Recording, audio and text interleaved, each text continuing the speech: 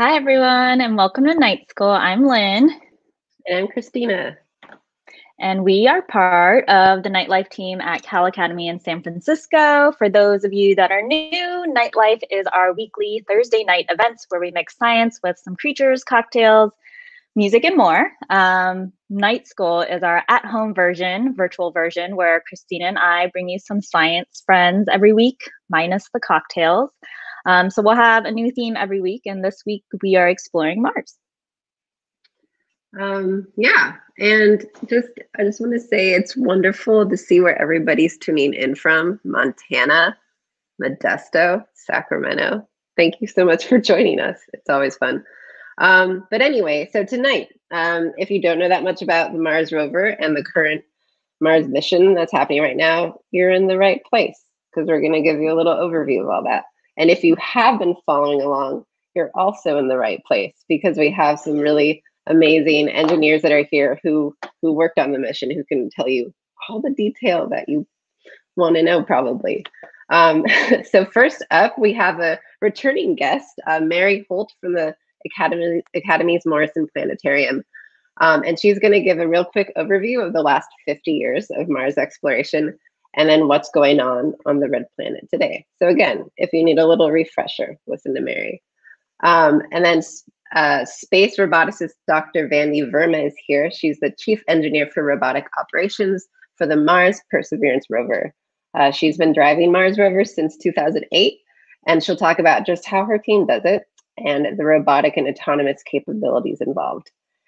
And then uh, engineers Dorsa Shirazi and Winnie Kuang are here from NASA Ames in Silicon Valley. Um, they both worked on the development of the Ingenuity Mars helicopter, which is set to attempt its first flight in just a few days here. So this is a very exciting time for to have them here. And then finally, um, if you happen to catch the recording of what Martian Wind sounds like, um, you have Jason Achilles to thank. Uh, he's a rock musician by day but helped engineer the microphone that would be incorporated on board the Mars rover. So, um, yeah, we're super excited. It's going to be a packed program. Um, Yeah. as as always, uh, tonight's program is live. So say hi in the chat. Um, let us know what snacks you're eating. Um, if it's your first time watching, or if you're a night school regular, um, we'll have a couple of Q and A's after everyone's talk. So make sure to get all your questions ready. Um, and with that, we'll turn it over to Mary.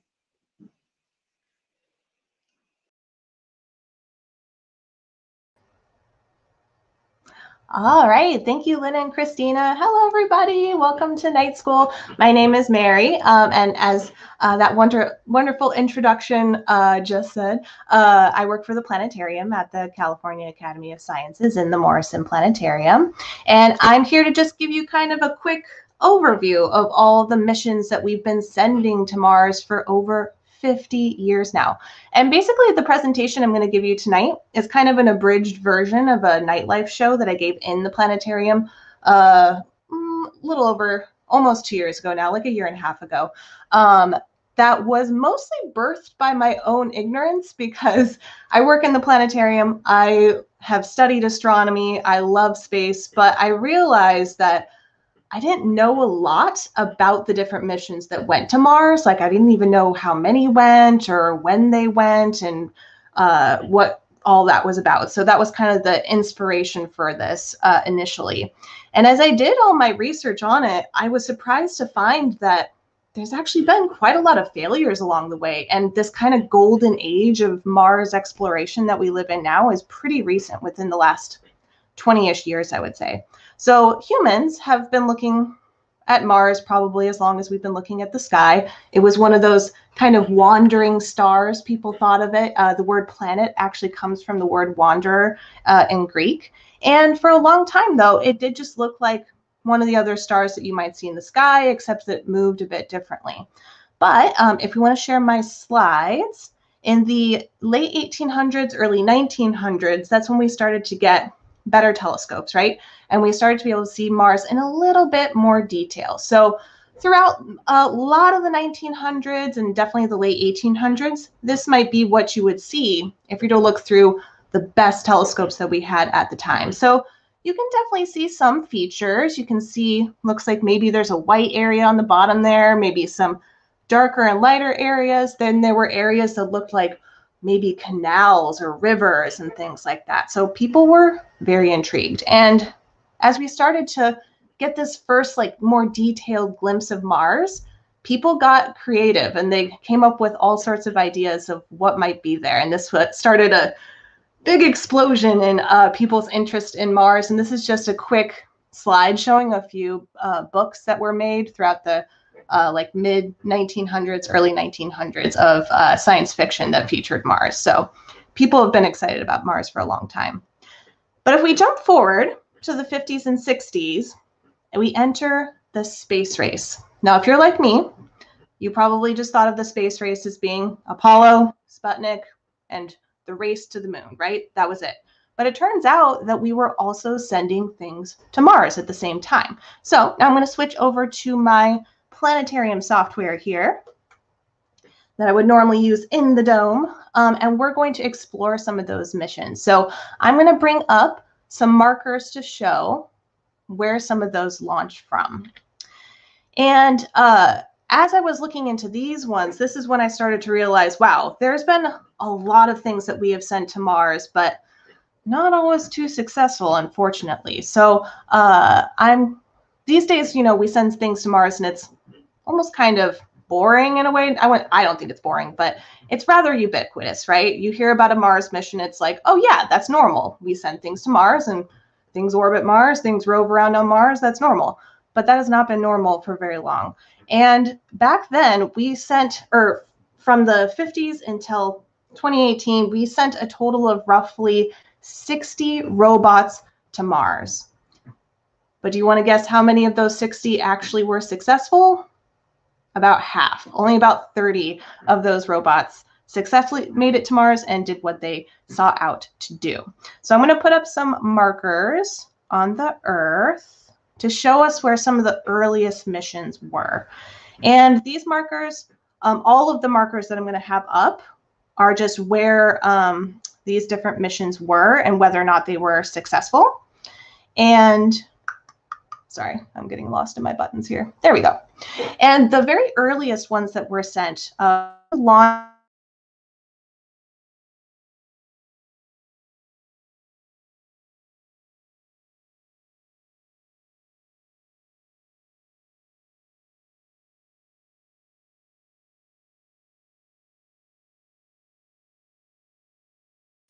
Okay, um, Mary, I don't know if you can hear me, but it looks like you might be frozen. So I don't know. Sorry, everyone. I know I know nothing about Mars, so I can can't take over. I don't know. Let's see if we can. Uh... Okay, we're gonna we're just gonna try to reboot here for a second, everyone.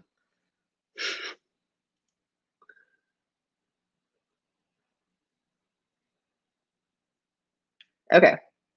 Um, so she had to, so Mary had to pop off for a sec, but we're just gonna put on, um, we're just gonna put on our waiting room, our, our me- cool music again, um, and she'll be back as soon as she can. Sorry, everyone. Internet.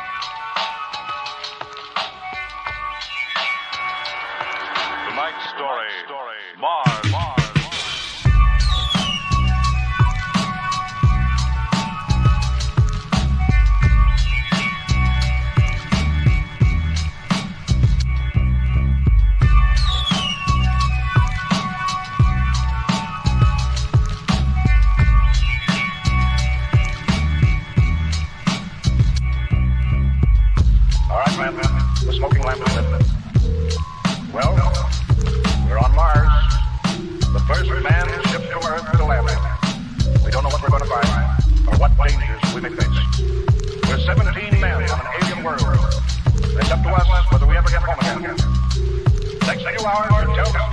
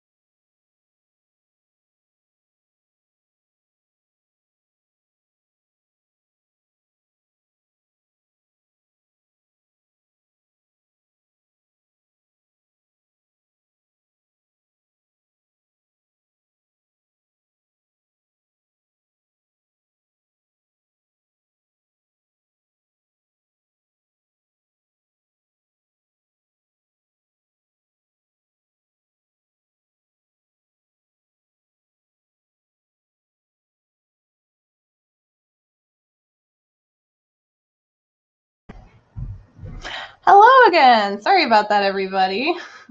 So it would appear that my computer just couldn't quite handle uh, having about five billion tabs open at the same time. So we are we are restarting right now, and uh, I'm restarting the software as well. Um, but what I was in the middle of saying was that I was about to fly over to Kazakhstan, which is where uh, some of the very first missions were attempted. Ooh, I can see that loading bar on my software almost done some pretty powerful stuff to fly around in the universe. So it takes a minute for it to load. Um, and I don't know if there are any questions in the comments. I'm looking through real quick just to see if there's anything while we wait the last couple seconds here. yeah, connection on Mars is pretty pretty slow, I guess. All right. Um, ah, there we go. So yeah, so we're gonna fly over to Kazakhstan to start out. And for a really, really long time, actually, the first several, several missions that I'm going to talk about um, were all sent by only two different countries. So the United States and uh, the Soviet Union were the only um, countries for the first couple decades at least that were sending missions to Mars. And the first couple in Kazakhstan were in 1960, between 1960 and 1962. And I will open this up in two seconds. There we go. All right. I have to click three more buttons and then we'll be good to go.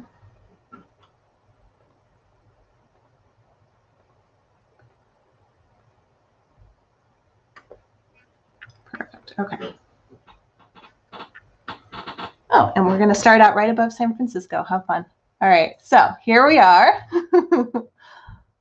right above San Francisco, and we're going to fly back over to Kazakhstan. What is now Kazakhstan, of course. And I'm going to put on these markers to show us where these missions were attempted. So all the different markers that I'm going to have up are going to show you where these missions were, right? And all the markers that we're going to see to start out with are the big red X markers, meaning, unfortunately, that mission failed. And that shouldn't be too surprising, right? Because if any of these uh, missions started and ended on Earth, clearly weren't successful since they didn't get to Mars. But the first several uh, were over here in Kazakhstan and all failed to launch the first five of these attempted missions. We also tried our hand at this over in Cape Canaveral uh, in Florida, um, here in the United States in 1964, which womp womp also failed to launch on the first try there. We did have our first successful mission, though, uh, Mariner 4, which had a successful flyby of Mars in July 1965. So 1965 was the first time we got anything to get close to Mars successfully.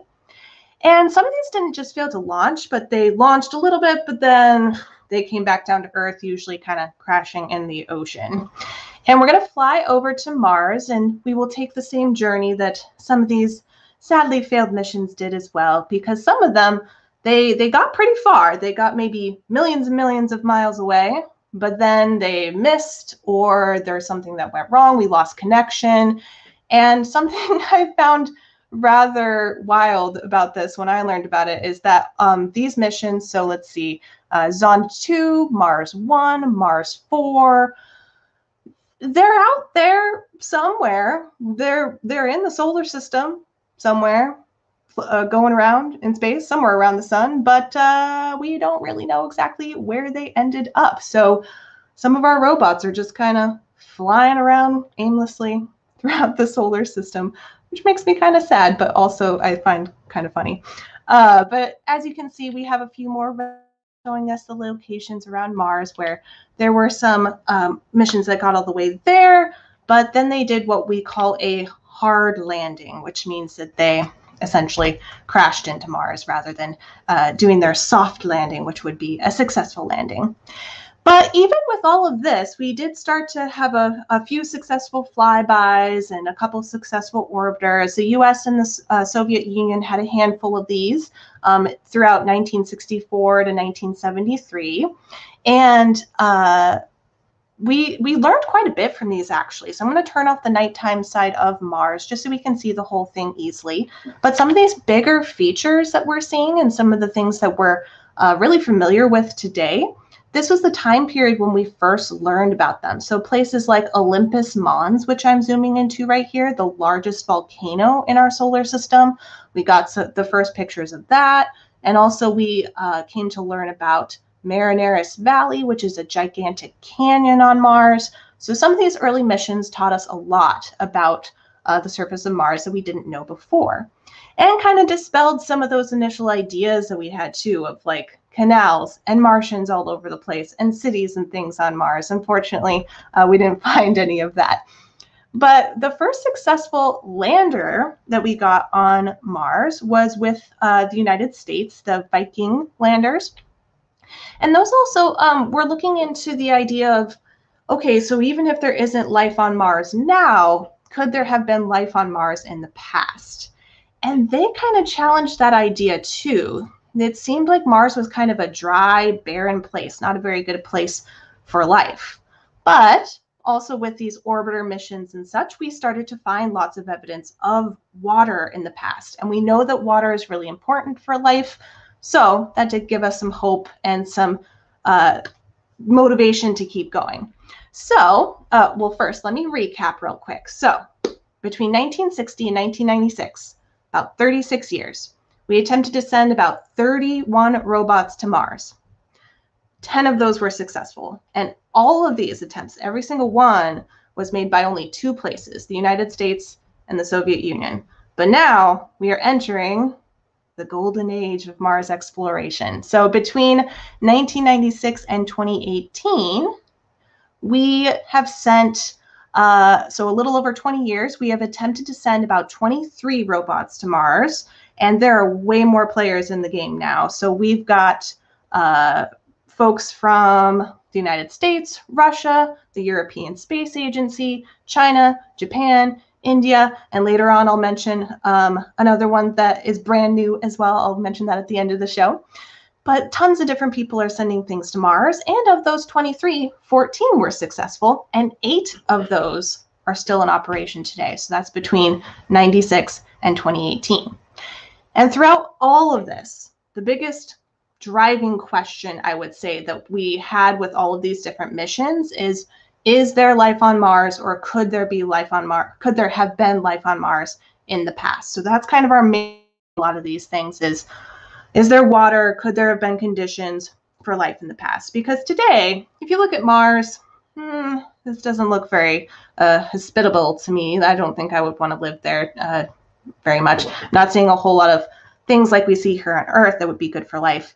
But with these missions, we've learned what we think Mars has looked looked like several billion years ago. So, a few billion years ago, we think that Mars had a thicker atmosphere. We think it had tons of liquid water on its surface. And all of this indicates that perhaps this could have had conditions for life in the past. So, let's really quick visit just a few of the current missions that are going on on Mars right now, and one of which you'll hear a whole lot about later on in the program. But I'm going to fly us down to Curiosity which is kind of our uh, most successful rover that is there right now. I definitely want to give a huge shout out to Opportunity, which roved on Mars for about 15 years and was super, super successful.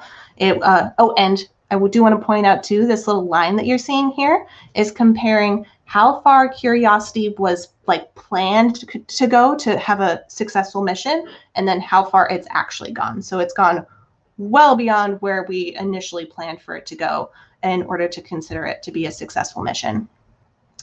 Um, but yeah, opportunity was there for 15 years and only had to stop because there was a gigantic dust storm a few years ago that knocked out its power supply for good and it wasn't able to wake back up essentially. So goodbye, little opportunity. We loved you so much. Um, but the one that's currently there, has been there since 2012, is the Curiosity rover, which I'm sure a lot of you are fairly familiar with, have heard of before at least. And it has lots of different tools to explore Mars and see if we can find water and evidence for life. We've got robotic arm, it's got a camera and lasers, and uh, I think of it as kind of a little oven that it has in its belly, basically, that it can put rocks into and learn what things are made of. And it's uh, been driving around for us for about nine years now and is going strong. And we also have a, just a few years ago. Um, I don't hear about this one as much just because I think, you know, the rovers are pretty charismatic. They look like cute little moving around robots on the surface of Mars. But there is another uh, lander that was sent to Mars just a few years ago, the InSight lander, which is also currently working and teaching us a lot about Mars that we didn't know before.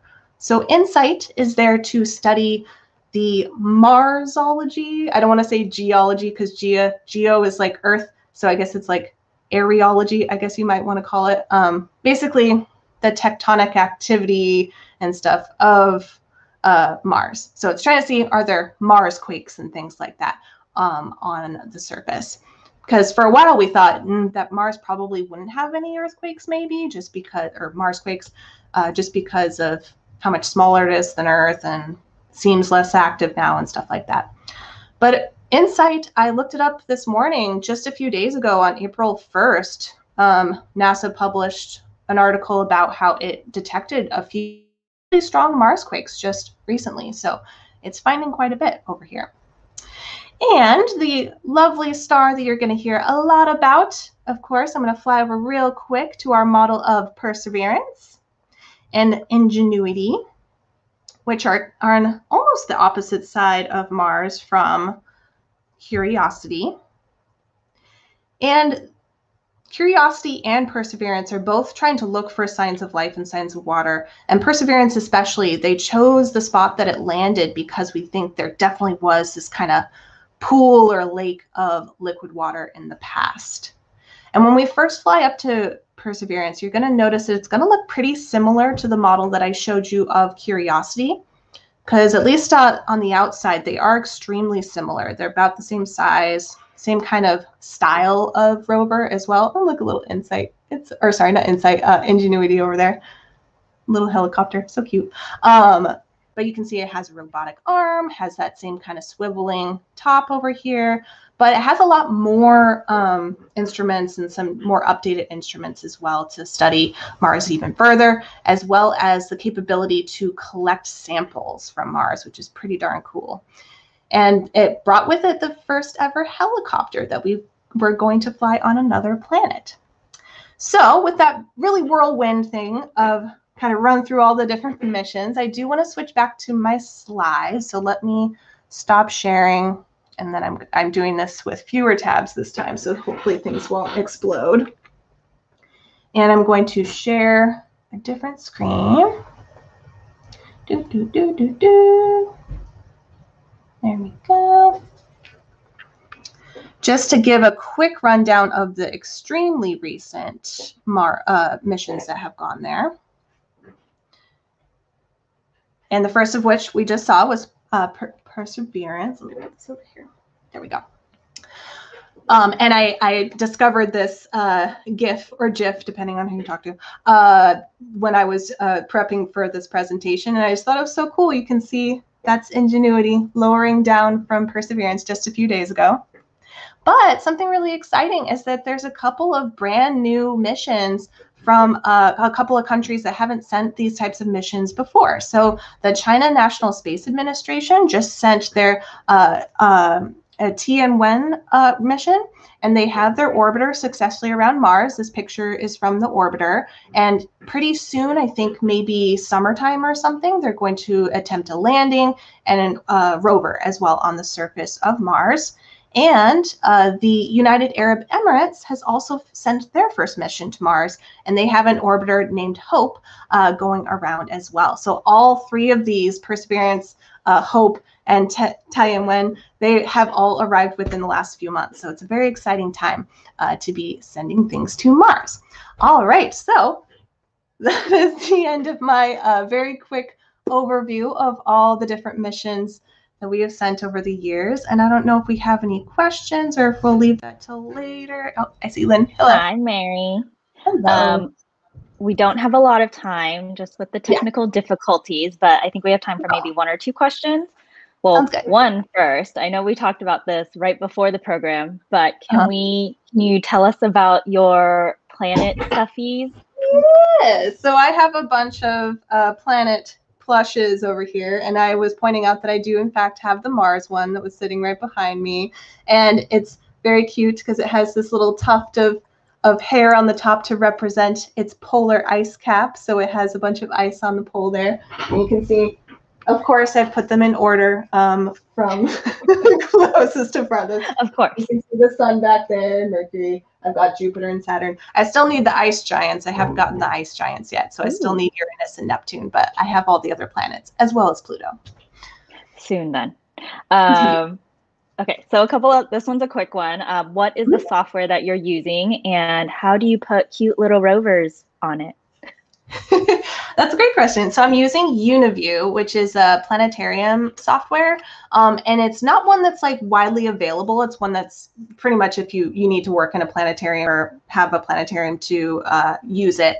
Um, but the models that we use um, are often developed by in-house um, by our coworker Dan Tell. He makes a lot of those, and they're based directly on uh, the data that he gets from NASA and from um, the different uh, space agencies and stuff that make these. So they're very accurate in terms of what you see, and they're very adorable, I think, as well. Um, and then time for one last question. Um, would the Chinese and UAE orbiters possibly crash into each other, or do they coordinate where they are orbiting around Mars? Hmm, that's a good question. I would, I would like to say I should definitely assume that they coordinate. I would say it's very, very likely to coordinate. I'm sure they do coordinate. It's just, you know, sometimes weird stuff happens and people don't coordinate and then things do crash into each other. But I would have to guess uh, with no research whatsoever that yes, they did coordinate with each other and they put them into orbit in a way that they won't ever crash into each other. I would hope so too. Yeah. Um, thank you so much, Mary, and thanks for sticking through our technical Yeah. difficulties. Sorry, Sorry we didn't have more time for That's a a Q and fine. A, um, but I'm sure we'll bring you back another time. Wonderful. Thank you. Thanks, Mary. Um, up next, we have Dr. Vandi Verma.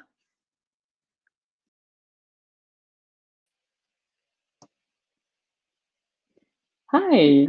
Uh, so I'm. Uh, I, can you see my slides? There we go. Uh, so I'm Vandi Verma. I um, I'm uh, the chief engineer of Perseverance Robotic Operations, and I also work on operating uh, Perseverance. And previously, I worked on Curiosity, Opportunity, and Spirit. And uh, right now, we're very excited about Ingenuity as well. So I'm going to let, let's see if I can get the slides to move.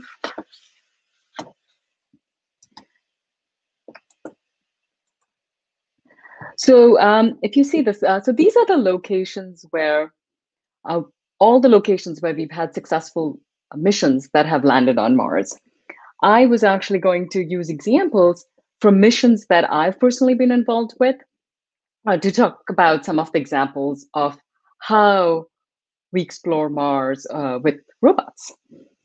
So that's particularly the area that I work in and I'm interested in. And here you're seeing a picture from the JPL, the NASA JPL Mars Yard. There on the left, right on the front, you can see the smallest rover, that is Sojourner. That was the first rover we ever sent to Mars. And right next to Sojourner on the far left is a picture of uh, the MER rovers. So that's what Spirit and Opportunity look like. So these are Earth replicas, and we use them to test in our Mars yard.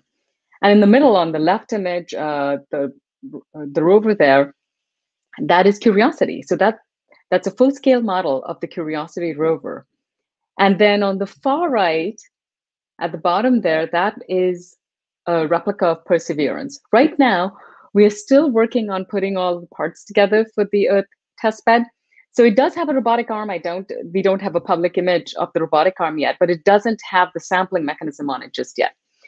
But at the bottom, you're seeing a full scale model of Ingenuity as well to just get a sense of the scale of the rover with respect uh, to the helicopter uh, on Earth. So Perseverance uh, landed on Mars on February 18th of 2021. Uh, so it was a very exciting day. You can see me there on the left uh, middle, um, holding my lucky peanuts in mission control. So I'm really not as much part of entry, descent, and landing, but I was on the rover operations side. Once we land, we immediately hand over to the rover side. And if we actually had to do something dramatic, uh, if I had actually got to do something, we would, like I like to joke, we would have been going Apollo 13. Things went very nominally. So luckily, we didn't have a whole ton to do that day. Uh, and you can see there was a lot of excitement. That teardrop on the top left shows the area we were targeting in Jezero crater. That's the location we're going, we were going to. And Jezero isn't, you know, the image on the right, if you uh, see the image on the right, it shows it's a delta and it's an ancient river delta. And we're going, going there to look for signs of ancient life. And a delta is a fantastic place for that. So that's the reason why that was very interesting to us. And the middle there is that picture uh, was taken with cameras on Mars as we were landing. This is this when this image came down that day, the first day we were all there, it was just so amazing. Because we had landed Curiosity in much the same way with the sky crane maneuver, which you're seeing on the top right. But this was the first time we actually had cameras, so we could see what happened rather than just have data and telemetry to tell us that. And on the bottom right, you'll see just how spread out things get. On the bottom right is an image of the rover where it landed. And then you can also see the heat shield and the sky crane, because once the sky crane drops the rover on the umbilical, it has to fly off and crash so it doesn't crash on top of uh, the robot.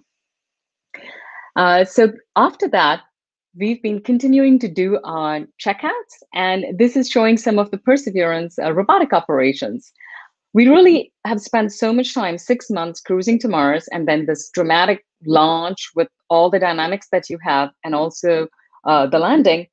And we wanted to make sure everything works as expected. So on the top left, you're seeing a movie. I think it should be an animation, but maybe there of the first time first robotic activity we did actually, which was stowing, unstowing the robotic arm. And this is a pretty enormous robotic arm. It's 2.1 meters long, and it's uh, got a 45 kilogram turret at the end of it with a lot of tools. Uh, on the bottom left is a picture of me there on the day we did that unstow uh, in robotic operations. And in the middle, you're seeing a picture of the very first drive we did. And uh, I'm, I'm, I really like these drives because you literally have tracks that appear as if they start from nowhere because the rover did come right from the sky and it's got these tracks. So that was the very first drive.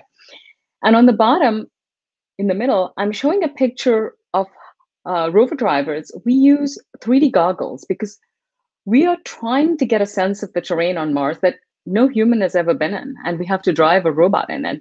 So we use the 3D goggles to give a very immersive experience of what it is like to drive there. And on the top right, I'm showing a picture of the very first time, you know, we were taking we were inspecting our turret, rotating it, taking images. But there's a lot of people behind all of this. You see the rover, you see the pictures and things happening, but there are the hundreds of scientists and engineers who built the hardware, who thought of all the science we're going to do. And on the bottom right, I'm showing a picture of all of the members of the uh, algorithms and software development for the robotic arm and the sample caching uh, flight software because of how far Mars is. You know, it takes a lot of time for light to travel between Earth and Mars.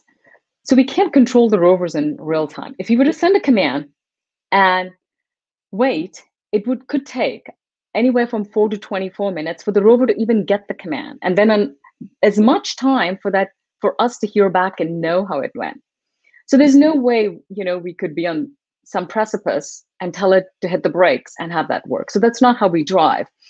Uh, we this time delay really changes how we have to operate the rover on Mars. Uh, we actually use three of the deep space network antennas. There's one in Australia in Canberra, one in the US in Goldstone, and one in Madrid in Spain. We send commands from uh, mission control through the deep space network to the rover uh, because there's a smaller set of data when you're sending commands. But when the rover takes the data, it's got enormous amount of data, a lot of imagery.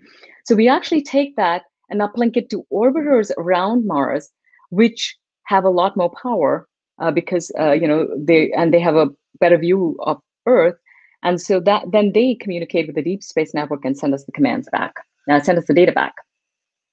So tactical rover planning, as we call it, consists of on the left top you'll see we get the data down to say what happened yesterday because we are not a lot of the orbital missions you plan well ahead of time what's going to happen in an entire orbit but when you're on mars on the surface there's very little information about what you're going to find the next day we respond every day to what we see the previous day and so you're seeing here on the top left a picture of us of, of the downlink analysis now this is from curiosity uh, we don't, I don't uh, have a publicly released one from the Perseverance one.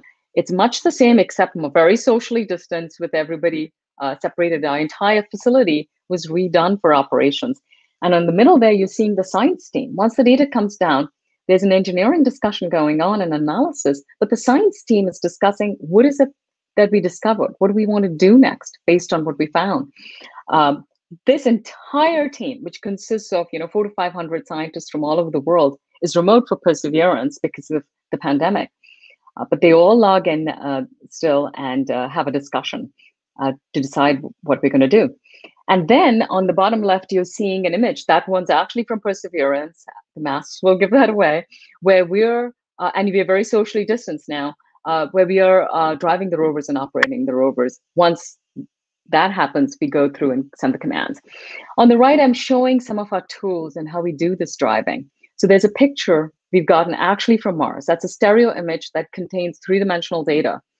And on that, we lay tracks to decide how are we're going to navigate this terrain. Uh, the little, uh, you know, square boxes and uh, the oval you're seeing here was because this particular drive, this was one of the drives that I did, was us trying to get to the airfield. This was the site we had selected to deploy Ingenuity. And this area here is the helipad. This is the airfield, and the larger area is the flight zone. And we were driving uh, to that deployment. So where's Perseverance now? Uh, we've been driving around mainly to deploy, do all our deployments. In the middle there, you see the flat uh, object. That is a belly pan. It was protecting the adaptive caching assembly which contains hardware which is going to collect samples that we're going to bring back to Earth, and then debris shield. And then, uh, you know, we've, we've driven to the helicopter location and deployed the helicopter. This was a very, very interesting dive, drive uh, because Ingenuity was suspended under our rover. We had to drive off, deploy it and drive off. But if that drive failed, the helicopter could have died because it, we needed to unshade its solar panels. While it was attached to Perseverance, it was charging from Perseverance. But once we deployed it, it had to have its solar panels exposed. So we worked a lot to make this drive such that even in the case we had certain faults, we would have still managed them. So this was uh, a very interesting uh, drive to do. Uh, and I got to do that one on Mars, which was very exciting. So the next, another thing we've done before, we've taken a rover helicopter selfie, and this was one an activity that I um, led doing. How do we take these selfies? If you see the arm here in the front, you don't see it because actually there's no third entity other than the rover and helicopter on Mars. So we're actually using the robotic arm to move it around and take uh, uh, these images. They are 66 images with a camera on the robotic arm, 62 actually, taken to stitch together uh, to create this mosaic. Uh, and so then we're getting ready to fly the Ingenuity helicopter. And there's going to be a number of, um, first we're just going to take off and land, and that is happening uh, this weekend. And we're very excited. Sunday night, um, midnight Sunday, all of us are going to be there in mission control waiting for the data to come back. And actually, it's going to be live streamed, and all of you can share that, and I'll provide that information in the end. Now, what happens after we've done these amazing flights? You know, we we're going to have a series of flights which demonstrate the first powered flight on a, uh, Mars. Uh, we, we actually have an entire science mission. Uh, Perseverance has a suite of instruments. And we are there to study the geology, astrobiology, and actually collect sample tubes and pave the way for astronauts because we actually are going to synthesize in situ oxygen to demonstrate that. But the sample tubes that we're collecting, we're going to cache them from a leg of a third, you know, multi-year mission to bring back to Earth. And that that'll be the first time that we've ever brought back samples from Mars to Earth. And that allows us to use all the laboratories available on Earth to analyze them. So scientists are just extremely excited uh, for us to do that. And so we're going to carry on exploring Jezero crater. And uh, on the left, you're seeing the delta where we landed. And on the right, uh, right top, you're seeing some of the path. We want to get onto the delta because we think that's where uh, past signs of life are likely to be. We're going to climb out and then we're going to climb out of the crater and beyond. And on the bottom, I'm showing a picture just to show the scale of the rover relative to the walls of the delta. It, it is very enormous. And so, you know, uh, in the interest of time, I might not go into too much of this, but I, I can go over it uh, later if there are questions. There's a lot of things that happen along the drives uh, that uh, are going to be very interesting. This is a picture from Curiosity. And while we were driving, soon after we landed, we discovered that um, we're going to Mars because it surprises us, surprised us that the rocks, the well, Ventifacts, very sharp, and they were tearing our wheels. So we had to get across to better terrain. But in order to do that, we had to cross this dune. And uh, we have built in technology on the rovers from driving previous rovers, where we know that if we drive over a dune, when we slip, our odometer can tell us that we're driving forward, but we're actually digging deeper. So we, uh, we use computer vision, where we take a picture and we move our wheels. And then if this rock hasn't moved behind. It was here. And if it hasn't moved behind, we know we haven't moved. So we use these techniques. And uh, in this case, Curiosity was very um, uh, safely able to make it into Moonlight Valley and it's still continuing the mission. We've redesigned the wheels in various ways uh, to improve uh, and reduce the chances of the terror we were seeing. And another example I wanted to show you, and just a few examples of the sorts of things we encounter and uh, just snippets of technology, there's tons of this, is on Marias Pass on Curiosity. You know, we drove up to this uh, hill and we were looking at this view, and the scientists were terribly excited because contacts are very interesting because contacts tell you something about uh, you know geology and potential astrobiology. And here was the contact between the stimson and murray formation. But mars is an interesting place. There's a time when uh, the sun comes between earth and mars and we call that conjunction. We can't talk to the spacecraft for some time. So conjunction was coming, and they really mm-hmm. wanted to get to the other side and take, you know, some data so they could study it over conjunction. And we did make it, and this is from Missoula, which was, you know, we took a mosaic there, and this shows the drive we went across. But while we were in conjunction and got the data down, this very benign lo- looking rock on the left, elk, which just looks like any other rock, when we saw it on the right, you're seeing a tele- telescopic image from a super, you know, from a ChemCam instrument, a version of which we also have on Perseverance, uh, improved called SuperCam.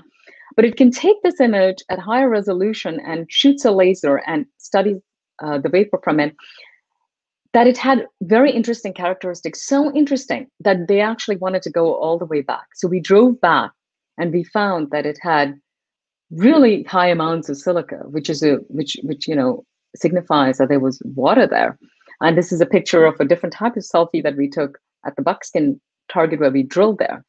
So this shows that as we are driving, we're covering a lot of distance, but there are things we could miss. So we have a lot of autonomy on board where the rover itself can take a picture, which is on the left, and then in that picture, it can find what are interesting things there. A lot of it could be just sand, but it finds these interesting rocks.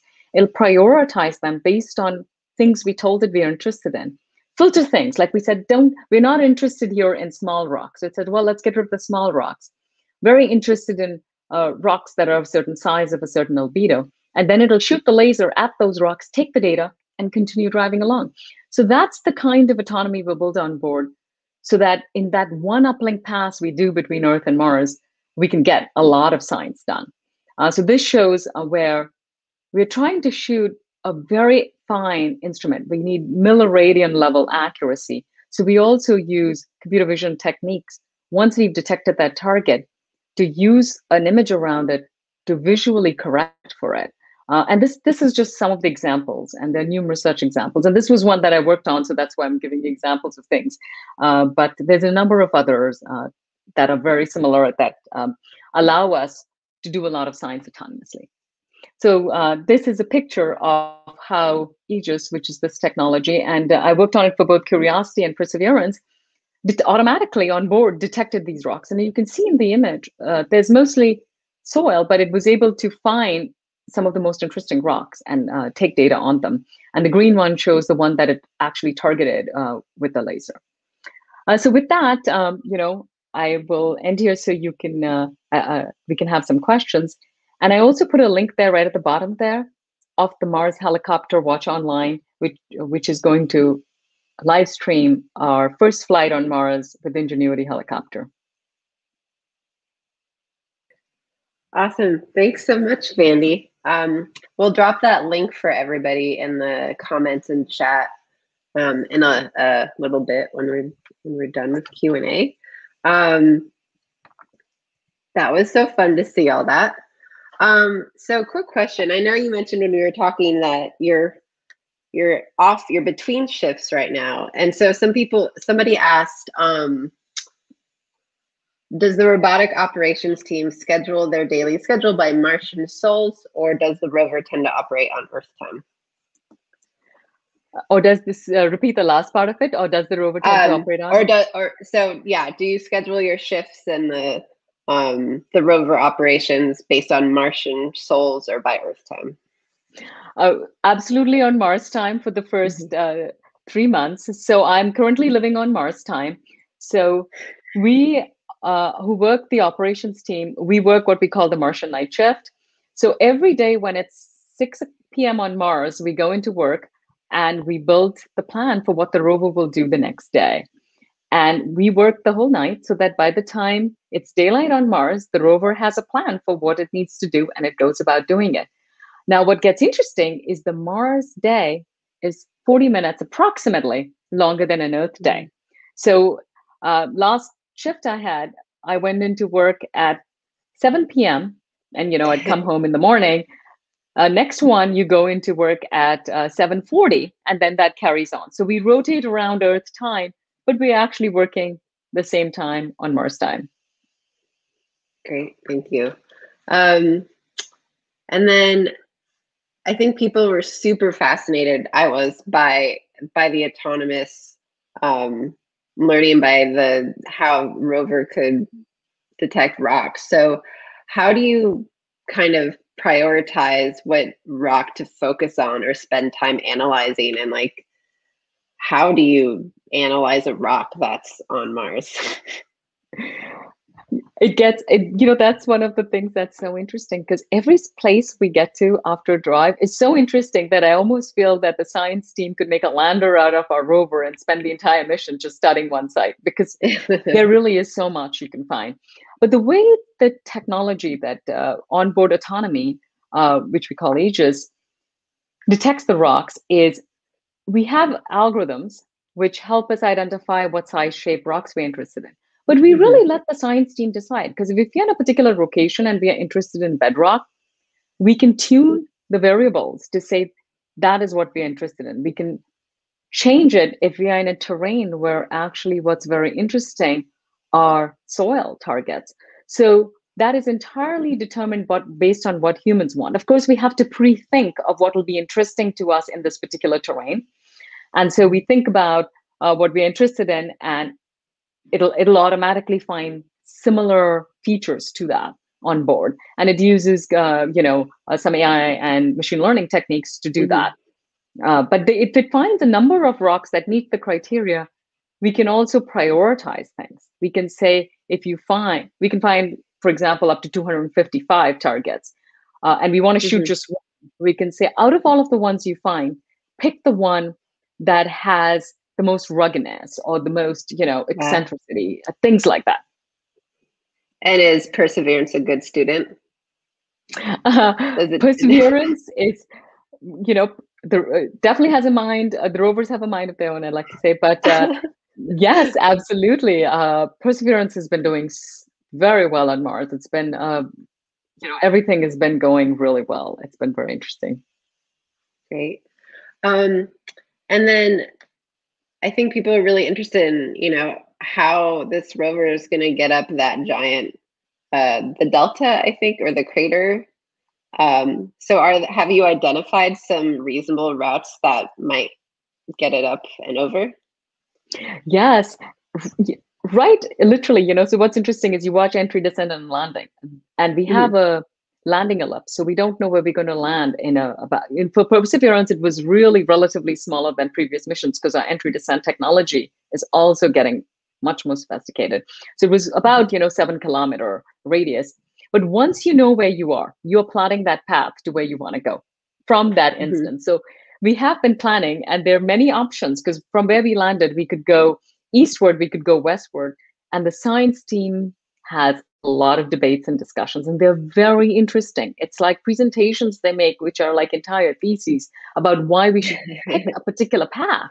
Because if yeah. you pick an alternate path, there are things we won't see versus others.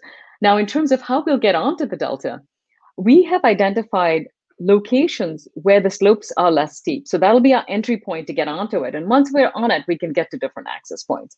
So we we analyze the terrain a lot for those kinds of um, access where we can get on. Great.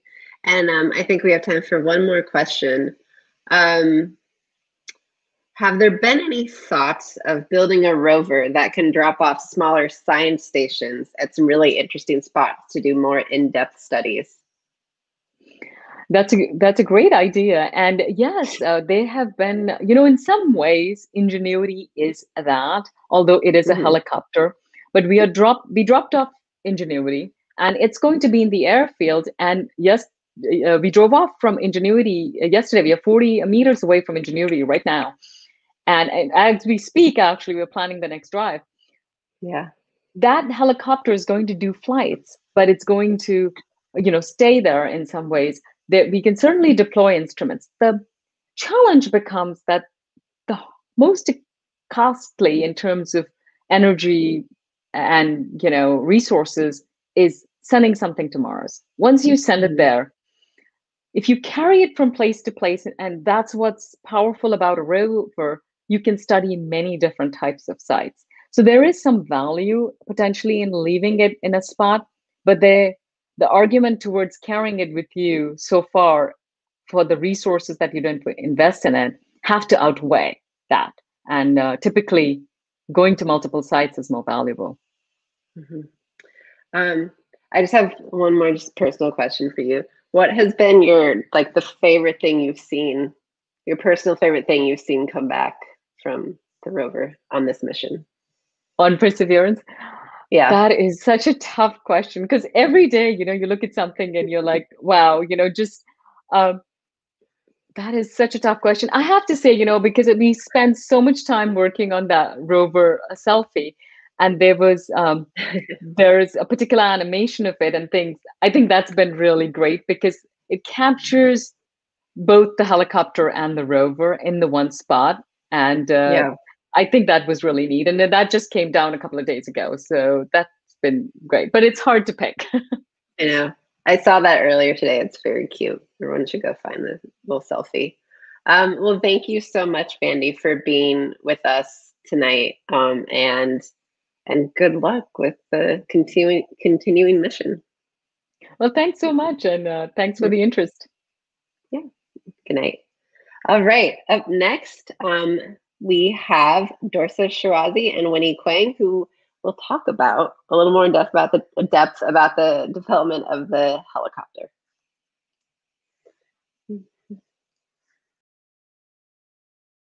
And I'm here with my co-workers, Winnie Kuang. We are very excited to talk with you about Ingenuity, the first attempt of the power control on Mars. As Maria and Vandi were pointing out, um, Perseverance and Ingenuity start they traveled to Mars back in 2020 at July 30th. And Ingenuity was in hold in the belly of the rover as a secondary payload.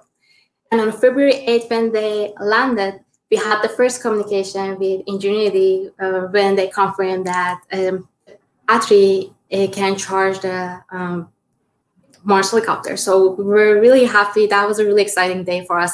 But we still we had to wait for the suitable condition um, to deploy the helicopter. So uh, what happened was on March 21st, the protective shield released. And as you see in the picture on the right, Um, that's the uh, picture that uh, rover took. But on April 4th, which was recently, um, Ingenuity got deployed on the Martian soil. And I should mention, Ingenuity went to Mars as a pure experimental flight test. So there is no requirement for it to take any data or collect any sample like the rover had to do. Uh, Mars helicopter is gonna be the first attempt of power control on another planet, and that's really huge, and we are all really excited for it. And um, the lesson that we're gonna learn um, with Ingenuity, we're gonna use it for future mission on Mars. But uh, I guess many of you have that question, like why we had, um, why do we need the helicopter on Mars? Before we were using satellites, and with satellites, we were able to take um, images of the whole landscape and see what is there, but we were missing some details. And the rover was able to take pictures of the closer uh, points, but it's similarly sitting on the inside of your car, and you cannot see what's down the road. And having a helicopter can fill out the gap between these two technology. Um, and that was one of the reasons that we wanted to create Ingenuity. The other advantage of having a helicopter on Mars is um, Mars helicopter can travel faster. Just to give you a, a, example, the map that you see on the left, it shows a distance that Curiosity rover was traveling uh, less than five years that can be traveled in three days by Mars helicopter. So definitely there's advantage there, but uh, it's definitely challenging too. Mars is not like Earth. There is many things different, like the whole atmosphere, um, all the condition there is um, different. For example, gravity. The gravity of Mars is one third of Earth, and uh, the density of air is one percent of what we have on Earth, which is basically the air is so thin that the whole plate had to turn so fast to be able to lift the whole um, body of the helicopter. Also, the temperature at Mars is really cold, especially at night. It gets even to negative 90 Celsius. Um, and surviving that harsh environment and all the electronics, to make sure that's not freezing, that's a challenge. The other challenge that we had, as Vandi uh, also mentioned, it's the delay that we have between um, sending a signal from Earth to Mars and back. So the Mars helicopter had autonomously be able to navigate itself, um, which makes it exciting and challenging at the same time. Um, even though the all the signals are traveling in the uh, speed of light, but since it had to go from the satellite to another satellite, it's going to take around like five to 20 minutes to get to either side. So that was definitely challenging. Um, and this project, many engineers and interns work, and they came up with the design that we have today. Um, the picture that you see on the left, I, am pretty sure you've probably seen it many times. Um, this is Ingenuity Mars helicopter, which weighed around four pounds. The design is very compact, lightweighted, um, just to make it suitable for packaging and making sure that for the entering, descent, and landing, um, it's suitable for that condition as well. The rotor design is the coaxial counter-rotating blade. Basically, it's two rotors stacked on top of another, and each of them gonna turn different direction. Um, to give you example and compare it with the helicopter that we usually see on Earth, um, um, the picture that you see on the right, uh, that's UH-60, and it has a main rotor on the top, and it had a smaller rotor uh, on the tail which we call it anti-torque. Um, we have it to make sure that the whole helicopter wouldn't start turning around itself. And same thing with the coaxial design for Mars helicopter. Um, having two of the blades turning opposite of direction of each other can gonna cancel out that rotating gyroscopic move basically. Um, and also it allows us to have a compact design. The rotor diameter is around four feet and it's made of the carbon fibers make it really light.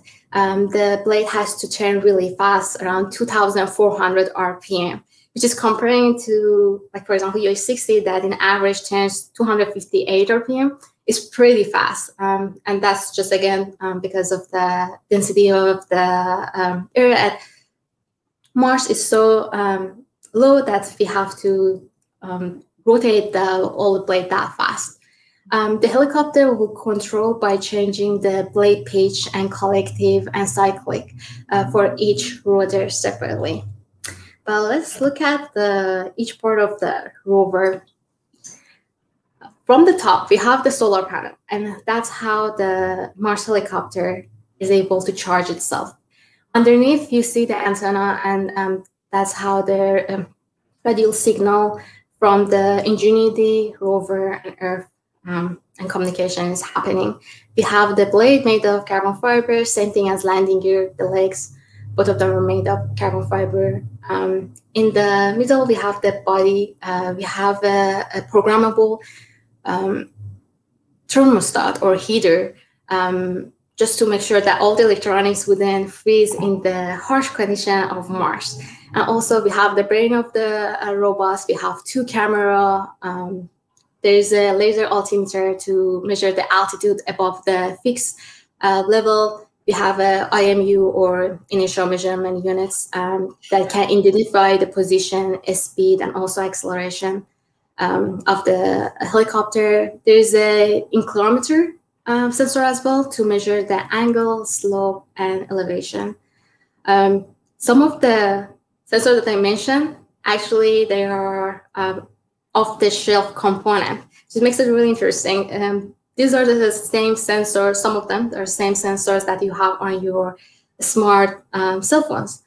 Um, and I think that makes it even more interesting. So when um, the first flight is gonna happen, which is gonna happen really soon, um, Ingenuity we're gonna have five flights over 30 sols. And range of each flight gonna be about uh, 300 meters, uh, which takes around 90 seconds. After each flight, it's gonna land, charge itself, and it's gonna use the telecommunication system that it has um, to send the images and flight information to the rover and Earth. And after that, from Earth, we're gonna get the flight instruction uh, for the next day. After the first flight, uh, there will be an increase in difficulty of flight. And all of us are really excited to see the first flight of Mars. So by that being said, I'd like um, to uh, give it next to my co-worker, Winnie, uh, who's gonna talk about the helicopter in, uh, Ingenuity journey. Thanks, Dorsa. So, as Dorsa said, uh, we're so excited for this upcoming flight, and you know, to take a concept to something that will be flying on Mars, it was really an extensive collaborative effort between multiple or among multiple NASA centers.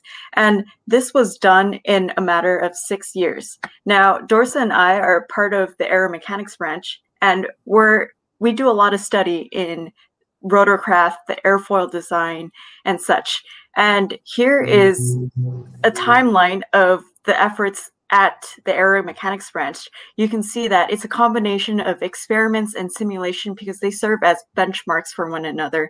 You can see that there are rotor testing uh, in Martian atmospheric conditions to determine how it'll behave, and there is computational fluid dynamic testing of the airfoils. So when we're doing something as novel as flying on Mars, we really want to design the facilities to be able to simulate those Martian conditions mm-hmm. and test our rotors in those environmental conditions. So that is also part of the timeline. But towards the right of the timeline is something that is even more exciting. So if Ingenuity is successful in its flight demonstration tests, then that would open a lot of potential for future Mars rotorcraft missions, where we have uh, more rotorcraft that could aid in uh, rovers and future Mars exploration. So on the right side is um, some conceptual models of successors to Ingenuity. And the successors will be capable of scientific missions, unlike Ingenuity. So it will be larger in size, potentially have larger rotor diameters, uh, and also larger size in general to accommodate a, a, payload, a scientific payload. And with getting anything on Mars, we have to consider the entry, descent, and landing systems. So we have looked at how these conceptual models can fold so that they can fit inside existing entry, descent, and landing systems. So this was one of the experiments from the timeline. This was done at Ames. This is the first ever surrogate rotor testing in forward flight. And this was done in the wind tunnel in the Planet Aeolian Laboratory at Ames. And this was so exciting. Uh, we learned a lot from the study, but more importantly, this study really motivated us to look into how we might design our facilities so that we can have more efficient ways to test rotors. So whenever you're running a rotor in an enclosure, you have a lot of uh, wake generated. And we wanted to determine whether this wake would interfere with rotor measurement performance. So this motivated more study um, done at Ames and also at JPL. So I previously showed the experiment for rotors, and now this is experiment on the flight of Mars helicopter prototypes. So the first one is in December 2014, and this was just to show whether we can achieve flight in Mars atmospheric conditions. Now, as Dorsa mentioned, Mars atmospheric density is a lot thinner than Earth's, is approximately 1%. And you can see over here that this prototype is struggling to fly. As soon as it lifts, it, it falls back down.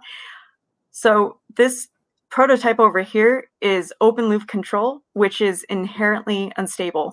And since it's struggling so much, um, this really motivated us to do more research to design a control system that's closed loop um, that really addresses all the instabilities that come with such a low atmospheric density. And we we did a series of experiments called system identifications to identify the aerodynamic characteristics and the parameters. And from the, that experiment, we were able to uh, create a control system to implement on this prototype right over here. So this prototype has a rotor that is pretty much the same as Ingenuity's. Um, you can also see that there's a cable attached to this prototype. Much of the avionics in this prototype is offloaded, and there's also a cable on top to replicate the gravity on Mars. There are also spheres, uh, white spheres on the top, and that it is to serve as visual motion tracker targets. So, you know, on Earth, uh, it's it's very normal for any aircraft to hover like that. But you got to keep in mind that this is done in JPL's 25 foot space simulator, and this is done in Martian atmospheric conditions. So it was a huge milestone and a very exciting moment for all of us. And right now it's it's slowing down, but the whole Mars helicopter program is really a high risk and high reward. We want to do everything that we can to ensure that Ingenuity is able to fly on Mars. So this is another flight test, which is done more recently in January 2018. And as Dorsa mentioned, Ingenuity will perform five sets of flight tests over a span of dirty Martian days. And these flight tests will be in increasing difficulty. So the first flight test is a simple hover test. It's uh, hovering 12 foot into the air. Um, but the successive Mars flight tests will be increasing difficulty involving the helicopter transversing to the side and then transversing back and then lowering and such. And this is just one of the examples. Um, notice over here that it says that it climbed one meter, uh, but in the actual flight, it's it's going to climb at a higher altitude. This is just a demonstration. But still, this was super exciting that it was able to perform this maneuver.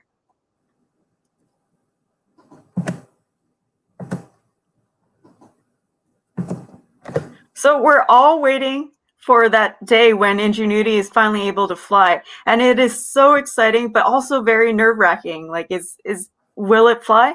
But regardless of whether it is able to fly or not, the Mars helicopter program and the whole project is already a winner. We have learned a tremendous amount of knowledge from getting this concept to something that is functioning and now on Mars and being able to fly this on Earth in Mars-like conditions. Um, you know, if it if Ingenuity is successful, it will be the first powered flight on another planet. And in many ways, Ingenuity's milestones that it is set to achieve will parallel a lot of the Wright brothers' accomplishments. So on the first day, the Wright brothers achieved a flight at an altitude of 12 feet. And that is what Ingenuity will set as its milestone on the first day. And on the fourth day, the Wright brothers flew a range of 300 meters. And that is also the same milestone that Ingenuity set for itself on the fourth day. So we are so excited. And if Ingenuity is able to perform all of its flight tests with no problem, this would open a lot of doors for what science can be done. So we're we're just really excited. Thank you so much for listening. And now we're going to open this up to questions for the audience. Hi, Winnie and Dorsa. Hi. Hi. That was really cool. I like all the flight demo videos. Um, we have time for some questions. So, first one is how I know you kind of referenced the size of Ingenuity, but can you elaborate more on how big is Ingenuity and how much does it weigh? Yes, um, it's weighed around four pounds, and the whole blade is um, around two feet in dia- diameter. So it's quite big, but it's not like the helicopter that we see on Earth. It's not that big. Yeah. Um, but the size of it and the weight of it, it had to be small uh, because of the it had to fit and get packed underneath the rover. So because of that, there was a limitation on the weight and size for us, and that made it uh, challenging design too and interesting. Yeah. So if if you lift up your laptop, that's roughly around four pounds, and uh, like the rotor, each of the rotor blades are two feet, so four feet in diameter. Um, yeah. I'm just gonna lift mine up now. Oh, okay. um, cool. Uh, how is Ingenuity um, controlled? Does it does it guide itself after being given basic instructions? Um, just how does it, yeah, how is it guided? Um, so Ingenuity is given flight trajectories planned on Earth, and uh, it follows these flight trajectories. Uh, but in terms of control, Dorsa talked about, uh, you know, its swash plate design. Uh, so, uh, you know, there is different helicopter movement and, you know, roll, pitch, yaw, and also heaving. Um, that is done through a combination of the cyclic and collective controls. Cool. Uh, next question is Does Ingenuity communicate to Earth through Perseverance, through MRO, or directly back to Earth with its own transmitter, etc.? It's communicated through the station that rover has and from there to the earth and same thing for sending the information images and like uh, flight data that is collected for the um, through the flight that it has and also through that it's going to receive the, all the flight in- instruction for the next day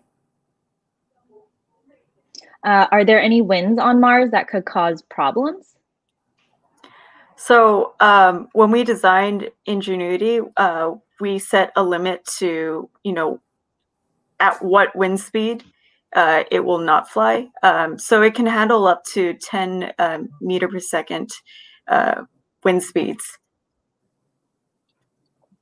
And then time for one last questions. Are you working on designing the next copter if Ingenuity goes well? Yeah, so we are working on designing the next copter. Um, you know, the design is still something that we're we're still playing around with and exploring different configurations. Uh, but you know, it, since it has a science mission, we're looking at a larger size, and it has payloads uh, that you know are are larger than the current payload that we have right now on Ingenuity. Absolutely. And also for the rotor, we are making it more optimized. And right now they're working on that. Very cool. Thank you so much, Dorsa and Winnie, and good luck with Ingenuity. It's very exciting to just hear all of this and see what happens in the next couple of days. Thank, Thank you, for, you for having having us. us. Um, up next, we have Jason Achilles.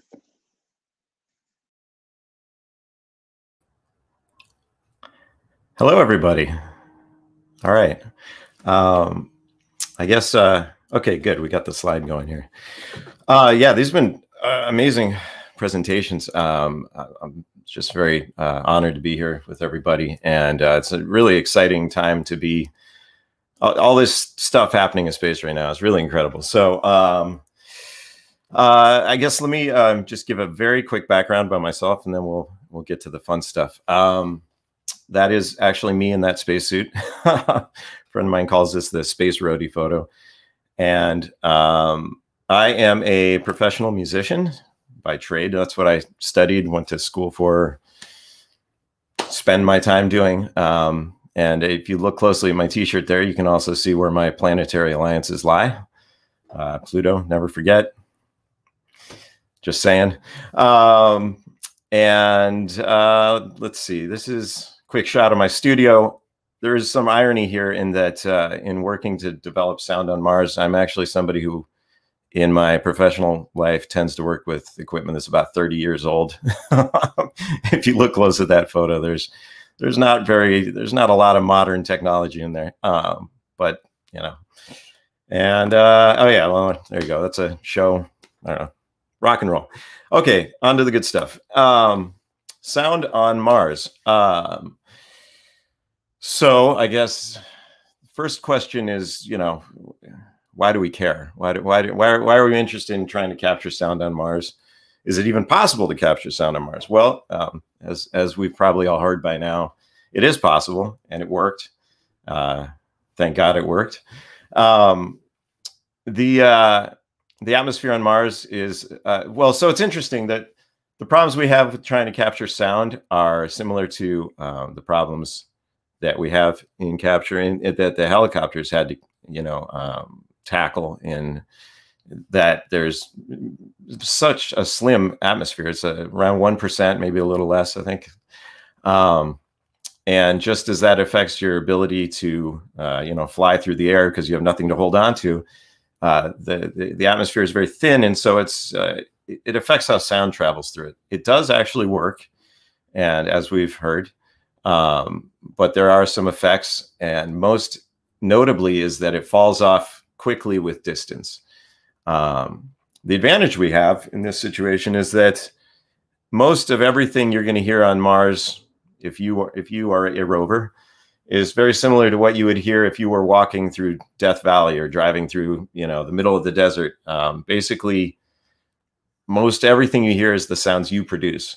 So those sounds don't actually have to travel very far. Um, you know, you're hearing your own footsteps or your your wheels grinding, uh, or maybe your drill. You know. Um, or in the case of the SuperCam instrument, you can hear uh, they they have a laser that zaps at rocks, and uh, analyzing the popping sound that that makes, they're able to uh, help make deductions about the I think it's the chemical composition. I, I don't work on that system, but uh, it it helps inform the science team about the composition of the rock that they're hitting with this laser.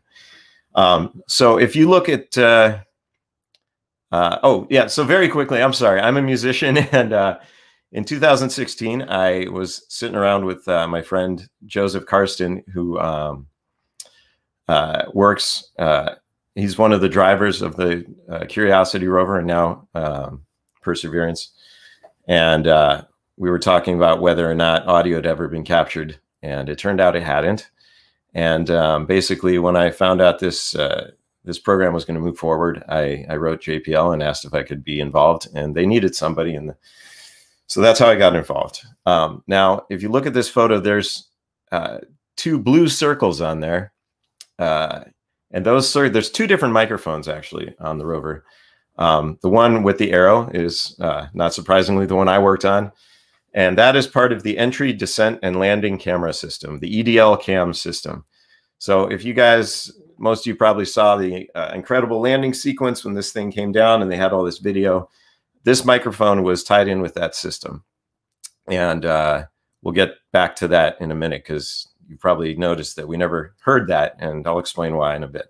Um, but the other microphone is uh, on the top of the mast there, and that's part of an instrument called SuperCam. I was not involved in this. These are entirely different systems, and they're in different kind of microphones as well. Um, but uh, yeah, so I worked on the little one that's on the side there. It's about where your door handle would be on the driver's side of your car. Uh, if you imagine that, you know, the rover's about, you know, it's about the size of a, of a car. It's a, it's a big piece of equipment here. Um, so anyway, I got hired. Uh, I had to start my own company, um, which uh, my friend Joseph came up with. That means absolutely nothing, but we thought it had a, I thought it had a kind of nice Hitchhiker's Guide to the Galaxy sort of sound to it and uh, we got to work. So uh, that's me uh, on the left. In the middle is our supervisor, David Gruel, who, uh, if you guys saw the um, the press conference uh, when the first audio from Mars was released, that was Dave. You probably didn't recognize him because he was wearing a mask. Uh, but that was him showing the microphone. And when we heard that first little gust of wind that came through on Sol 2, and to his right in the photo is Cesar Garcia, who might be uh, joining us tonight. Uh, and he is a, a brilliant uh, audio engineer who I had to hire to basically um, do all these things that uh, I promised we could do that I didn't actually know how to do myself. Um, so we, uh, yeah, we commenced with a. Uh, initially, we were hired to do a two-month study to have a custom designed microphone, and Cesar and I developed this custom design, presented it uh, at JPL. And actually, this was the day that presentation took place. These are our smiles of uh, thank thank God we're done with that because it was you know it's pretty nerve wracking. Um, and uh, just prior to going out for drinks afterwards. Um, but we made our presentation, and then uh, basically four months later, we were informed that um, they, the the the idea was good for a custom design for microphone. However, uh, the budget just wasn't there to build something from scratch. So instead, we got hired back this time to do uh, a select to help make a selection of an off-the-shelf component to fly on the rover. And um, the Ingenuity team mentioned there's some off-the-shelf components on the helicopter as well. Uh, the microphone that uh, we flew is almost completely off the shelf, and in fact, I don't know if you can see um, right here my screen. This is uh, a flight model of that microphone that I have on loan from JPL right now. Um, sounds pretty good. It's a condenser microphone. Um, it's a studio mic. It's something you find in studios all over the world. It is absolutely not meant to fly in space. Um, it's not meant to go to a harsh, you know, frigid desert climate. It's not meant to uh, survive in deep space or be irradiated through cosmic radiation or survive a rocket launch or uh, reentry uh, into another planet. And yet somehow this thing has managed to work. So uh, this is made by a company called DPA Microphones. Uh, they did a wonderful job just designing this thing. They obviously they didn't build it for this, but uh, it did the job. And we basically reviewed the specs on this thing and a lot of other microphones they had in their uh, catalog, we decided this was the best one, and this is ultimately what got flown and and has worked. Um, let's see, we got uh, this is a cool picture of. If you look close, this is a vacuum chamber at JPL, and um, uh, there is a that little white spot, that, that little white thing. That's a speaker, and uh, on the left and on the right are the two we had. We we, we finally narrowed our selection down to two microphones. It was uh, this one and another one. It was very similar. And so those those were both put in this vacuum chamber and they were both tested. Um, I don't know. I don't believe it went down to Mars temperature, but I know that they they backfilled the atmosphere with the chemical composition on Mars, which is mostly carbon dioxide, and uh, basically just made sure that you know it was going to not rupture the diaphragm if we brought it down to vacuum, that sort of thing. And um, anyway, these tests were performed and, and they, they both microphones survived. So ultimately that led us to make the selection of this. Um, let's see. So there were some other tests that were performed by myself and another engineer, Mike Hoagie, uh, and we did this in a, a backyard in Reseda. Um, you'll see a. so you know it's funny because you think, okay, this is rocket science, right? Everything's got to be done like in the photo you saw before, but a lot of things are done in an ambient setting. Um, for this, you know, we wanted to, we were trying to test how the chassis of the rover itself might affect the sounds that might bounce off of it, especially the louder sounds, like when the rockets were firing and stuff. So this was uh, we put together some pieces of metal uh, and actually carefully measured this stuff. It doesn't look like it, but uh, there you go. This is going off of CAD drawings uh, that we had of the uh, how the microphone was mounted onto the rover body.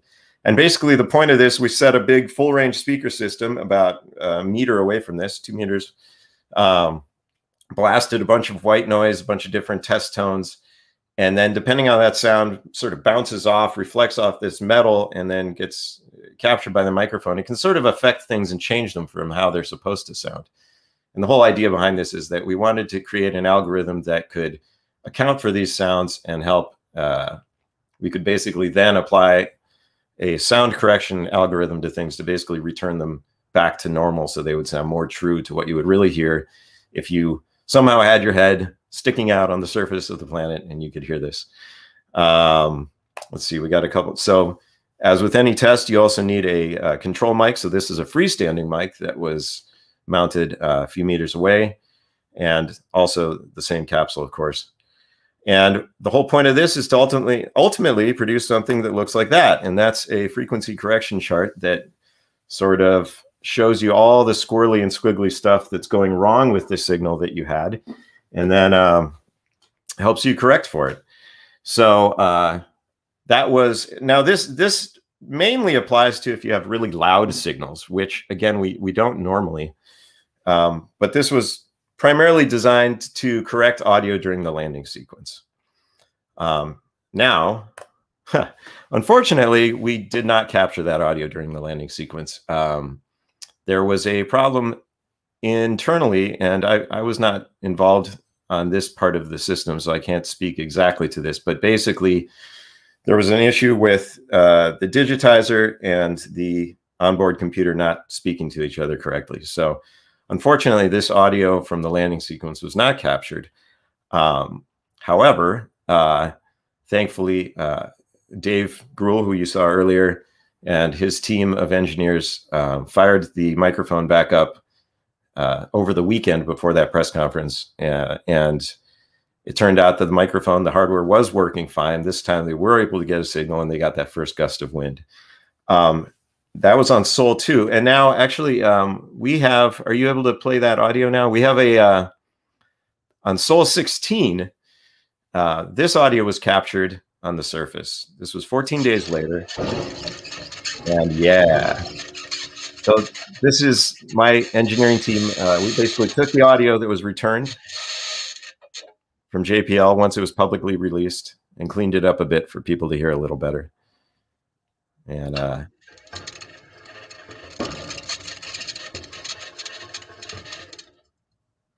so that's that's some that's some crazy sounds right there. All right, that's pretty good.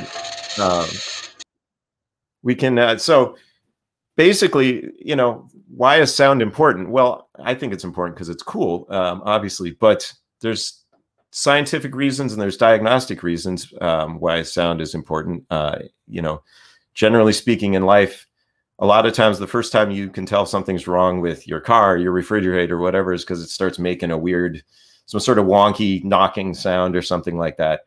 Um, in the case of this audio, th- these sounds were something that nobody expected to hear. That that sort of weird grinding sound, and a lot of engineers uh, at JPL have been trying to figure out what those sounds are, and they also have matching telemetry data to uh, that they can basically line up so they can see what sensors were reading what when they hear those sounds, and then based on how you line these things up, you can start to try and figure out what you're hearing. Um, so yeah, it's pretty exciting stuff. And, uh, you know, today, I guess the last thing I'll just very quickly talk about before we get some questions. Today is all about the helicopter. Everyone's very excited about this. It's an incredibly exciting time. Um, what does this have to do with sound? Well, as it turns out, uh, that little helicopter has to spin those rotors incredibly fast. And yes, it's very tiny. Um, but when you rev something up at the speeds we're talking about, it, it actually can produce quite a lot of noise. And uh, we have, my team was uh, given one of the audio samples when they set the video cameras in that that video you guys saw earlier of the helicopter flying in the in the vacuum chamber.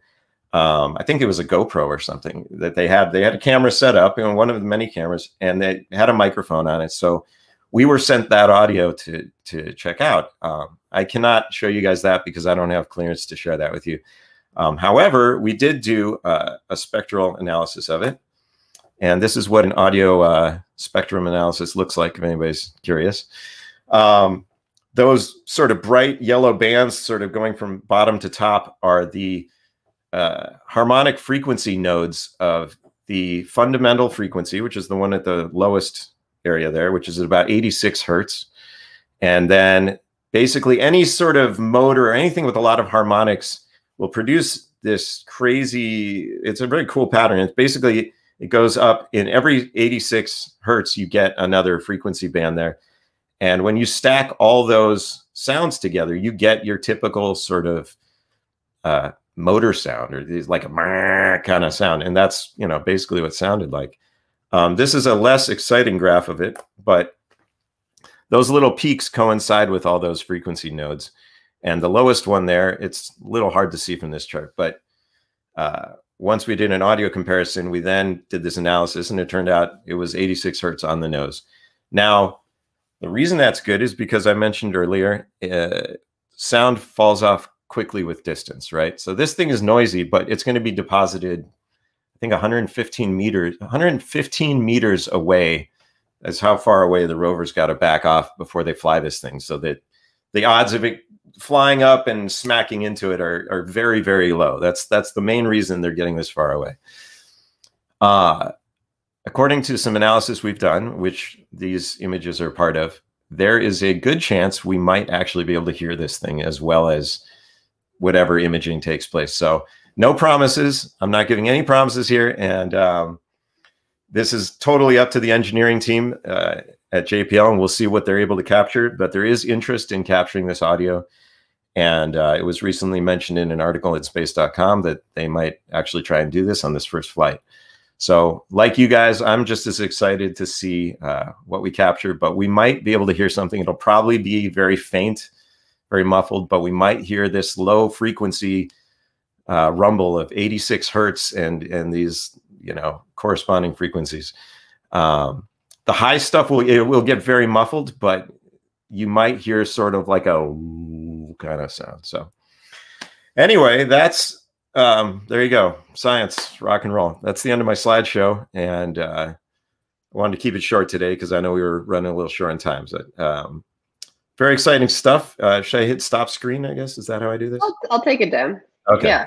There we Um, go. so yeah, uh, I know I kind of barreled through that real quick, but um, yeah, does, if anybody has any questions or um, yeah, Yeah. They've got questions. Um, so you were talking. You were talking. Also, also your your buddy Cesar is also uh, answering some questions in there. Oh, too, Cesar. so- So, yeah, So if you you guys want to if know anything about this audio, Cesar actually can answer your questions much better than I can. But I'll I'll I'll do it again. But yeah, Cesar in the chat room. He's he knows he knows his stuff. Yeah. Um, so you were just talking about like we might be able to hear the helicopter. Um, would that be able to be heard on the live stream, or do you have to kind of get the sound back and apply your algorithm before it? Before you know, I, I? I I wasn't even aware they were doing a live stream. Um, so uh, I would imagine. I, I I wouldn't imagine that that would be something that they would try and incorporate. I, I'm speaking out of turn. I don't know. I would not expect that. Um, Right. Also, uh, any audio that is captured. So the rover. One of the things we've heard in both the audio samples um, is that the rover makes a lot of self noise. There's there's pumps on board and there's yeah. um, even if it's not roving. So what we heard before was it moving, right? But even when Mhm. it's sitting still, there's like a whirring sound that will, even though it's very quiet, it'll probably be as loud as anything we're going to hear from 345 feet away uh, on Mars. Um, so I would imagine that it'll probably have to be processed similar to how we processed that audio that you shared earlier. Um, and uh, yeah, we'll see. I, I, would not expect that to be live streamed. Again, I don't know. Okay. Um, Maybe in the future. If, if we if we can hear anything, I think it will be really really incredible. But I think the I think it is possible. Yeah. Okay. Um, and then when you get you know these raw audio files like sent back to you, like what form are they in, and how long does it take you to turn it into the beautiful sounds we heard a little so a while ago? Well, so I'm yeah, my contract actually ended the day of the press conference. So the only audio oh, I was ever sent back directly from NASA was um, I, I, did get to hear the that first sounds of Mars before uh, mm-hmm. that was publicly released, and we actually did process process that and send that back. But that that audio file that uh, you played earlier, which we, you know, processed, we actually downloaded downloaded that from the NASA website, and okay. anybody can do that. Um, and I'm sure the uh, if there is any helicopter audio, it'll be up there as well. Um, it's uh, mars.nasa.gov, and then there's a multimedia button at the top, and you just click audio. Everything's laid out there, including the audio from the SuperCam instrument as well. Um, yeah, and it's uh, it's a wave file. I'd have to I'd have to look back up, but it was it was decent resolution. Yeah, um, wasn't like an MP3 or anything. So. um so do you know anything about the the second audio system you said that you weren't involved with? Was it also made from existing industrial parts? So um, do you know? Well, I know that it's it's a uh, it's an electret microphone, so it's a different yeah. it's it's a different construction that so ours is a this guy here we can see a little better now that we got the screen bigger. Well, it's a little blurry. Oh, move it up a little. I literally got a gaff tape to a microphone stand. okay. But hey, listen, Wait, the one that you're you using is that this is not the first time duct tape has been used on a on a on a satellite. I'm just saying. Uh, okay. What's that? Oh, it's this? wait. You mentioned that that one you have right there. Is that the one that you put on the rover? Or, this this is this is a duplicate of the flight model. model. So this is one oh, where like cool. it's got a special brass uh, plate that helped mount it in case. Yeah. So I can't really. Yeah. And then this is actually yeah. the preamp the corresponding preamp, which you, you, saw a picture of in the slides there, but yeah. that's this goes inside the rover. So one of the reasons we chose this uh, product, the DPA preamp and microphone, is because this preamp can actually be housed internally. So the only thing that had to be on the outside of the rover and really subjected to the horrible atmosphere, Martian atmosphere It was just this little piece here, which is you know it's about the size of my thumb.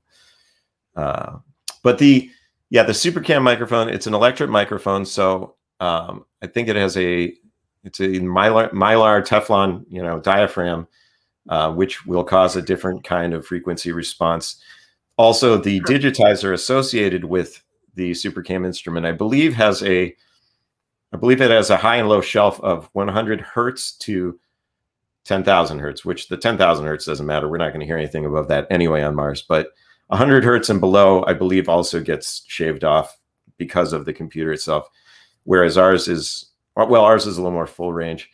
Um, it's cool that these two different microphones of different construction are on here because at some point one of these things is going to give out. Uh, you know, none of they're not built for this. Um, right. So it'll be really interesting to see which one lasts longer and and how it sounds and how it fares. You know. Uh, yeah. Yeah, the, the cool. second one, the SuperCam, is run by the French Space Agency, or uh, they they did a lot of work on it, and so people can find information about that um, probably yeah online website NASA NASA stuff. Hmm.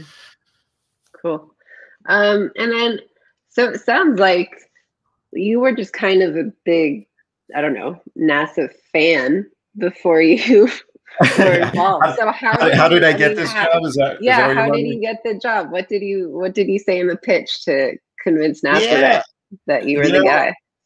yeah, I, I basically um, I did a I mean I did do a lot of research. I did about six months of research before I really started you know putting myself forward. But yeah, I, I basically started writing every writing a calling every engineer person I could think of that was involved with uh, what it was that back then it was called Mars 2020. They didn't have the Perseverance Mm-hmm. name yet.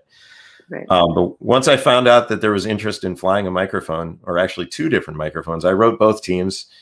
Um, I basically the way I try and explain it is that audio is is interesting because it's the science of audio is is a lot of it doesn't take place on the page. You can like so when I'm working in my studio, if I'm recording a snare drum, you you, you can mathematically parcel part and parcel out where you want to put that microphone, where it's going to sound great, and then you hit the snare drum and you listen back, and it sounds like crap, you know, and and you just have to move things around. You have to adjust things, and there's there's a lot about audio that is counterintuitive as well. Um, the fact that things are sounding as good on Mars as they are right now, I think it surprises a lot of people. And people would ask me, "Well, aren't you surprised?" And I said, "Well, no, because I I did look at the the data and and um, you know I looked at the frequency response charts, and even though they look like they shave off all the high end and you're not going to hear anything, when you look at the actual frequencies that are going to be well represented, it it it correlates with what you're hearing. So I kind of tried to pitch myself as somebody who was you know familiar with the counterintuitive aspect of audio and plus i think they just did, really didn't have anybody you know? Um, so it, it, all worked out and uh, it's been working there for the last four years as an independent uh, consultant uh, with cesar and mike and, and uh, brad uh, another um, brad avenson was our third tech uh, it's just been incredible. It's a great honor. Yeah it's been awesome awesome um, well, thanks so much for being with us uh, tonight. And um, yeah, can't wait to hear more from from the rover. Well, we'll see A, how long this thing keeps working for, B, how much they turn it on. And um, you know, we might get something back next week. And if we do get something, definitely I'll I'll put it to my team and we'll process that audio and see if we can clean it up and make it sound real sharp. So uh, Awesome. but it, whatever happens, it's uh, it's just an incredible time. It's very exciting stuff. So Yeah, we're all lucky. You're all lucky. because we get to see and hear all this stuff. Just yeah, I mean, you know. Yeah, when I was a kid, the space shuttle was flying around, you know, and like that was the coolest thing I'd ever seen, you know. So Mhm. putting these big car-sized rovers on on Mars now is really, uh, yeah, it's it's it's cool. It's good stuff. Okay. Uh, well, we'll see you at the uh, the helicopter live stream. Oh yeah, I'll I'll Maybe I'll be we'll be watching. Maybe, we- I'll be maybe we'll hear something. Yeah, it would be that'd be a nice Yeah. surprise. Okay, awesome. I'm gonna bring Lynn back. Thanks so much, Jason. Thanks all. Hey, Lynn. Hi, that was fun. Yeah. Um, thank you everyone for tuning in tonight, and special thanks to Mary, Vandi, Winnie, Dorsa, and Jason. Um, looks like there's a lot coming up, so everyone stay tuned to all the Mars adventures in the next few months. Uh, for next week, though, we'll be exploring what it's like to illustrate science, um, learn how visual artists have helped further our understanding of the unseeable. So, from explorations in the 1500s and paleo art to quantum physics and the cutting edge of science today. Um, so, join us next week. Um, yeah, I'm especially excited for next week. So we don't usually put in like personal plugs, but I'm going to do it because I'm really excited, and we've been wanting to do a science illustration one for a while. So um, I'm also going to drop the yeah, I'm also going to drop the link to the um, helicopter live stream, um, the Mars helicopter live stream in the chat again because I know a lot of people want to watch. Um, but yeah, subscribe to our YouTube channel, please. Uh, if so, you'll be notified when we come back. Um, what else do I usually say? The academy is open. Um, so if you're in the Bay Area, we'd love to see you. Nightlife will let you know when Nightlife is back in the building. You can come um, hang out at night.